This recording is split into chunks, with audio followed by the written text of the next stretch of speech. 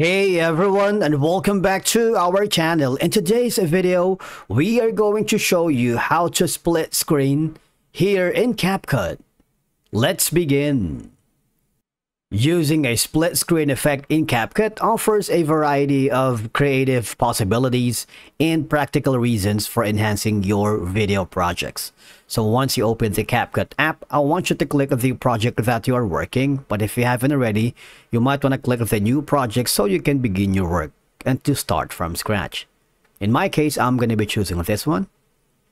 I will be forwarded to this section. All right, so right now I have one element inside of my timeline, which is going to be what an image. If you want to create a split screen effect, all I have to do is add another element. It could be another photo or a video.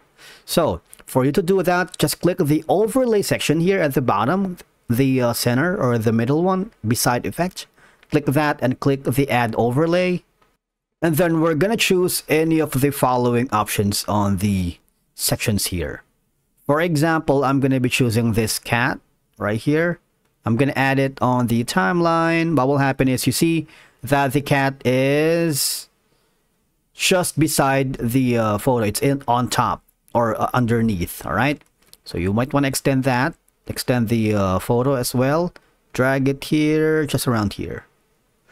So they're not they are like overlapping and we wanted to create a split screen effect right? So how we do we do that. First of all select the uh, video or the photo and then drag it all the way to the side. You can also have an option to increase the size right here and then select the next element or the photo. Of course you just have to drag it all the way here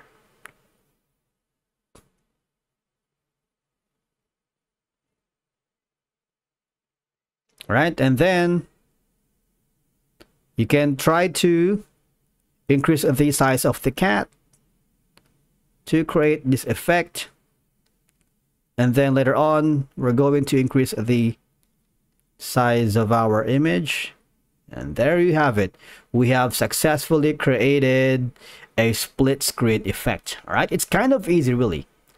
Now as you may notice that the split screen allows you to showcase multiple viewpoints or perspectives of a single event or scenario at the same time.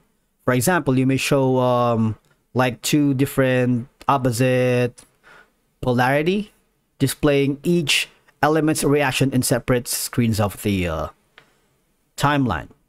And then once you're happy with it, just click the export button on the top right corner to begin editing and of course you can save it to different file formats. Thank you so much for watching. We will see you again in the next video.